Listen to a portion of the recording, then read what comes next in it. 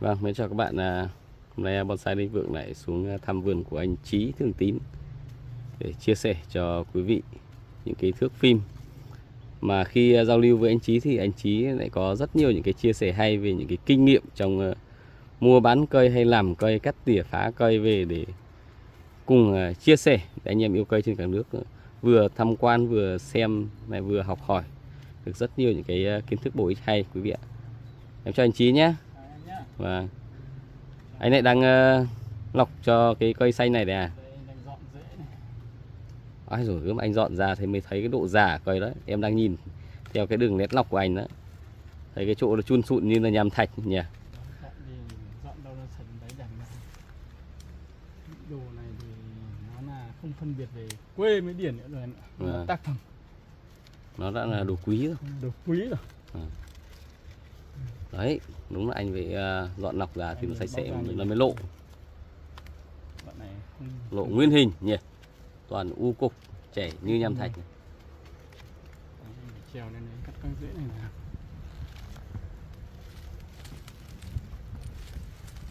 Đoạn này thì không phân biệt nữa rồi em ạ. Và không phân biệt điên hay quê rồi. Nó là những cây quý rồi à ngày, khả năng ngày xưa chỗ đấy là một cái rễ thật to đóng xuống đúng không anh? cái rễ to nó đóng thẳng xuống anh cắt đi đấy này thì nhà anh lâu rồi đây cho quý vị xem một cái chất liệu cái cây rong lá xanh quê này. Đẹp chưa? lá quá đẹp luôn Đấy, nhỏ nhỏ lá đẹp Rất hơn nhỏ. là năm điển luôn rất quý luôn chất liệu xanh quê lá đẹp rằm đẹp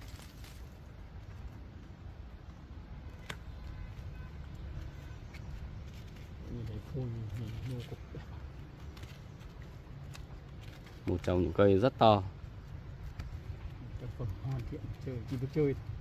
À, cái lá lá nhìn giống cái cây nghênh phong của chú cương họa sĩ phết nhỉ? Cái dáng ấy nhỉ? Ừ. và cái có có ngồi nghênh nghênh có cái canh nghênh phong ra này. Cây này nó là cây của anh này ngày xưa nó là cây này ngày xưa đã nổi tiếng rồi cái song siêu. Gọi cái này gọi song siêu. Siêu à,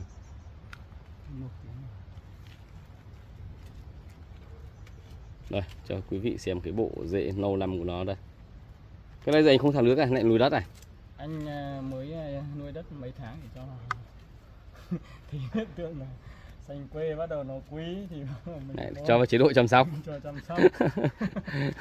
Cho rất nhanh cho chế độ chăm sóc đặc biệt ngày còn ngày xưa thì cứ nuôi nước khi nó nhàn cứ đổ nước vào rồi to cái này to đang quay à, ngược ánh sáng mặt trời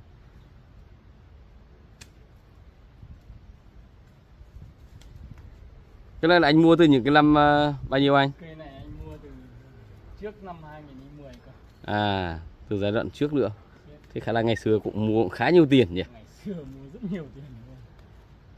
Ngày xưa mua nhiều tiền nhưng mà ờ, tính ờ, theo vàng đây em. Anh em cứ bảo là là ngày xưa lúc bây giờ là là vàng ngày lúc hôm mình mình mình nói là mình ờ, lúc bắt đáy Vâng. mấy nghìn cây vàng ấy, mọi người trên face cứ à có cái bài đăng là, là anh ờ, bỏ ra 2.000 cái vàng để đi mua cây. Ờ, thì mọi người bảo thế anh lấy tiền đâu mà mua vàng?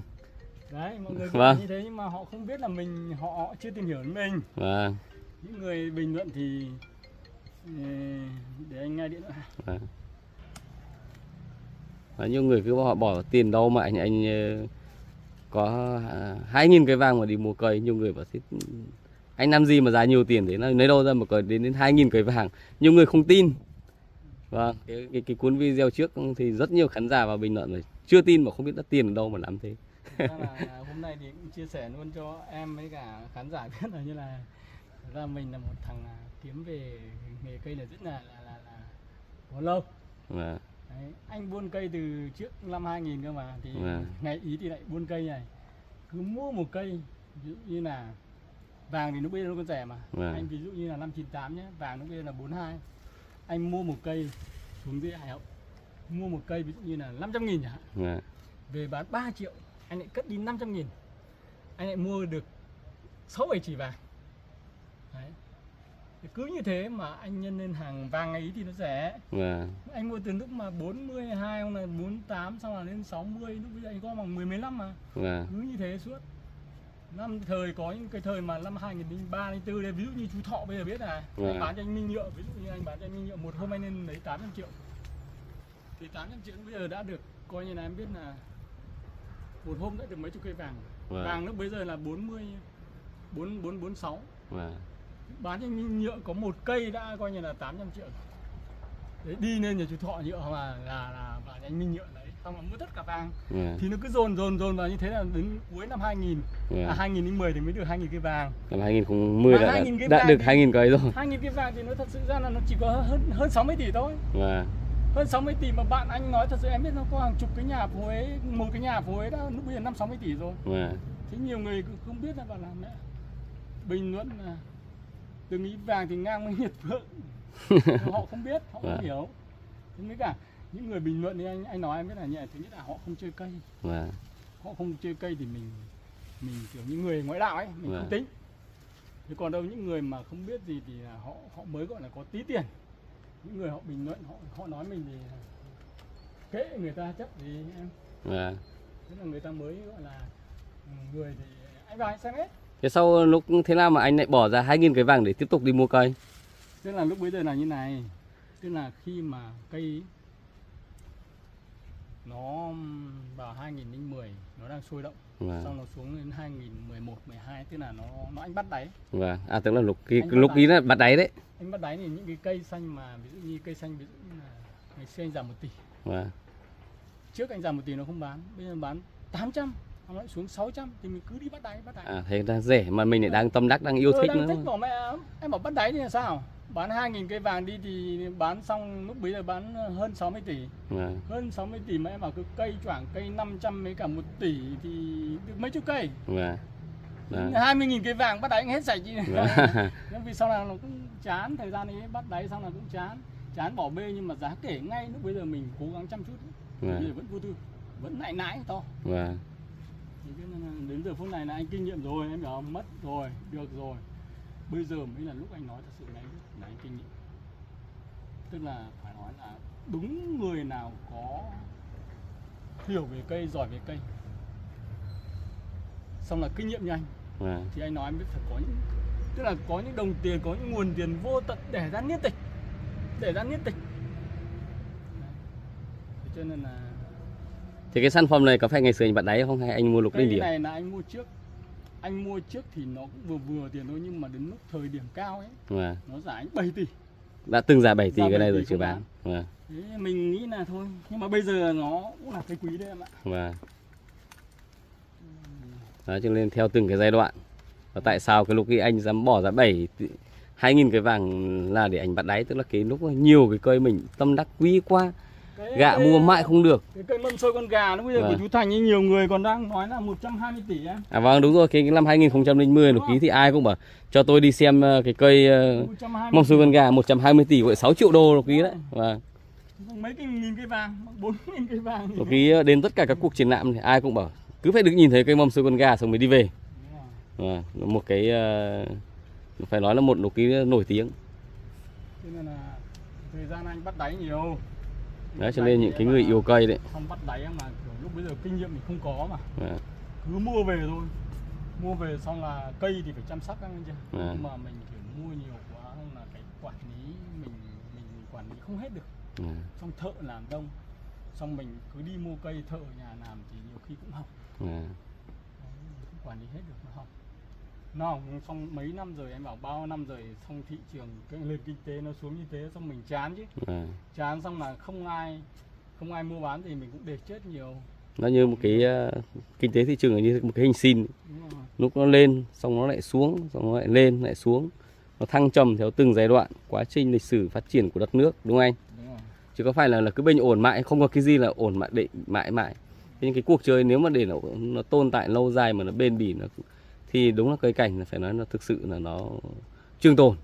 Nếu mà bây giờ nhá nói lại nhá về cái cảnh này nhá thật sự hiểu được biết được xong giỏi nhá thì kiếm tiền không cái gì bằng.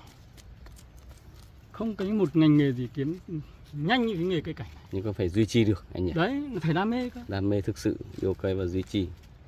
Chứ còn chơi chạy theo kinh tế thị trường chốc lát cái thì chạy theo xu hướng Là không kinh kịp. tế là là là chết Vâng. phải có những cái suy nghĩ quyết định. Những cái đồ chơi này thực sự nó cũng là vô giá. Khi cuộc sống xã hội kinh tế phát triển thì à, ai cũng vậy phú quý sinh lễ nghĩa. Ừ. đến lúc làm cái nhà đẹp kinh tế điều kiện có thì cũng phải muốn kê vài cây đẹp trong sân. Nhà đẹp mà không có cây đẹp thì nó cũng không có độ sang đúng không anh ơi? Tức là những người làm bây giờ họ chưa nghĩ đến cây ấy, vâng. Là họ kinh tế họ chưa có tiền. Vâng họ chỉ cần có tiền phát em nghe chưa? Có tiền họ xây nhà. Có xe ô tô bắt đầu họ nghĩ đến sân là phải có cái gì? Phải có cây Vâng. cảnh chứ có gì? Sau này rồi cả nước chơi cây ấy. đấy. Phú quý sinh nghĩa còn đâu những người mà ví dụ có. như, đây anh em mình ví dụ như cây này nói đơn giản nhá. Cây xanh này ví dụ như là anh em mình đánh giá tiền tỷ đúng không? Vâng nhưng những người họ không chơi cây bán cho nó 5 triệu họ bán 5 triệu không mua. Đúng rồi. Ok vậy đó bởi vì nhà người ta gì có đất mà họ Ừ. có tiền đâu họ ăn còn chưa đủ. Thậm chí họ ăn đủ rồi nhưng họ ngày mai họ còn tiêu pha bao thứ tiền họ đầu óc đâu mà ngắm cây cảnh. Dần ra là đấy nó là như thế nên gió tầm nào mới tầm Vâng. đấy khi có tiền thì mới hiểu được cái cái cái, cái mới cảm nhận được cái đến cái lúc đó. Lúc anh bảo là đói chỉ nghĩ đến ăn đã đấy, như ngày xưa đặt tên cái mâm xôi con gà đấy. Ừ, người ta đặt tên là chỉ nghĩ đến cái ăn đặt tên mâm xôi con gà. Chính cái cây mâm xôi con gà là ngày xưa thế chỉ lo là gọi làm sao có mâm xôi con gà để ăn cho nên là họ ước mơ. Cho nên là nhiều người bảo anh có 2.000 cây vàng để mà tiêu gửi họ không hiểu được. Và họ đã có đâu mà họ biết. Họ thử có xem họ chỉ muốn nhân thôi. Và em thấy chưa? Họ còn coi như này có vài cây vàng còn chẳng có cả cuộc đời không có chục cây vàng ấy, thì làm sao mà họ hiểu được có những người có vài nghìn cây vàng? Người ta xác định người ta làm lớn người ta làm. Anh nói thật sự em biết ngày xưa nhé lúc mà anh xác định bắt đáy nhé, là đây là nói thật anh muốn anh là ông vua cây cảnh ở ở cả nước Việt Nam này. Và đâm ra anh mới quyết định phát ý. Quả bắt đáy đấy đúng. Bởi vì nhà anh lúc bây giờ 1.600 1.600 cây rồi. Toàn cây cổ. Và anh nói như này nhé cả dân cả làng cả mọi người biết hết. Chung quanh anh mọi người trong làng trong xã anh biết hết. Và những người chơi cây bây giờ họ biết anh. Còn đâu Vâng. mới từ 2000 trở lại là nhiều người họ chưa biết anh họ mới bình luận vớ vẩn. Và còn đâu những người nào tìm hiểu về anh kỹ ngày xưa họ mới biết và anh 1.600 cây. Tiếp tục anh bán nốt 2.000 cây vàng. Anh muốn làm một ông vua cây cảnh ở cái cái nước Việt Nam này. Và muốn tất cả xanh cổ về nhanh hết. Nó là gom đấy. Bắt đáy bắt đáy là nó đang rẻ là có Vâng. cơ hội để bắt đáy được xác định như thế. Vâng. nhưng mà vì coi như là thiên thời không chuẩn nữa lúc bây giờ suy thoái nó lâu quá mệt. Vâng. không mà mình cảm thấy mình chán trường Vâng. Đấy là vấn- đề là như thế. Với hai trang nữa là cái nghề mình đang yêu đang thích đang đam mê. Mua được những cây quý thì nó cũng sướng ngoài cái cái cái việc muốn làm việc lớn ra nhưng nó thỏa mãn được cái đam mê lúc đó nhỉ? Cứ bình thường những cái lúc mà nó đang nhiều tiền nó toàn cây mấy chục tỷ mấy chục tỷ thì cứ ờ, mua không dám mua mua không mua chống được. Ngày xưa Vâng. thì là cái cơ hội nó cứ được gom. Lúc bây giờ là là mình nghĩ là thôi đây là cơ hội của mình. Và mọi người đang khó khăn thì thôi mình đang có tiền. Mọi người đang đi vay lãi mua cây mà. Và trong khi đó anh có tiền có vàng gom góp được bao năm rồi là thôi quát phát này đi bắt đáy hết. Và cứ cây cổ mình cứ cái đẹp cái quý là ôm hết. Đấy. Đó, như cái này ngày xưa trả nhá. 7 tỷ trả bán này. không bán. Vẫn cứ giữ. Nó cứ đi bắt thêm đúng không? Còn mua thêm. yêu đang đang thích. Anh nói như bây giờ thế thôi anh nói thật sự bây giờ ai thì thôi. Nếu như mà không không hiểu về cây thì còn đắn đo thỉnh thoảng mua một cây chưa hiểu rồi xong là biết về cây giỏi về cây nhá.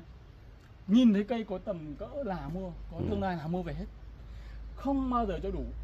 Đúng hàng rồi. nghìn tỷ cũng hết hai nghìn tỷ cũng hết đến giờ phút này các ông các ông cứ chỉ cần hiểu về cây.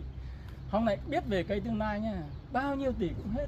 Mà lại khi lại kiếm được tiền từ cây rồi là mới say tợ này nhỉ tí nữa ông kiếm được Vâng. nha không phải nhà ông có hai nghìn cây vàng đâu mà hai mươi nghìn cây vàng cũng nôi ra đầu tư tiếp. Và đấy nói như thế để cho mọi người biết.